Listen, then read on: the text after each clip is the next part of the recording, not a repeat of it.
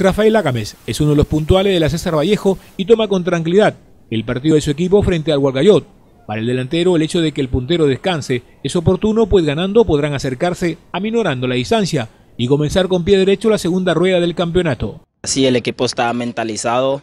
en lo que es terminar la primera ronda sumando ya tres y comenzar la segunda ronda ya con, con ese ímpetu de ganar todos los que quedan en casa y por fuera robar puntos también. Creo que el equipo está trabajando fuerte para eso y todo el equipo está mentalizado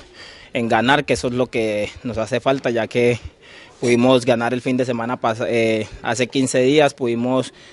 sacar punto, entonces el equipo está mentalizado para hacer las cosas de la mejor manera y en esa segunda vuelta volver a retomar la punta. Para el colombiano el grupo es consciente de lo que quiere y se han propuesto sacar adelante la segunda rueda, en donde no se puede dejar escapar los puntos como local y robar otros como visita. El equipo poeta desea volver a primera y ellos serán los responsables de esa alegría, agregó el cafetero. La mentalidad de cada delantero es anotar y ya que en esa última fecha no la podía hacer, pero mis compañeros la han metido, entonces creo que tengo el ímpetu y la tranquilidad para poder hacer las cosas bien este domingo que se viene, ya sea de titular o ya sea en el banco, pero hacer las cosas bien en el momento que entre y poder marcar y poder sacar los tres puntos. ¿Conocen algo de?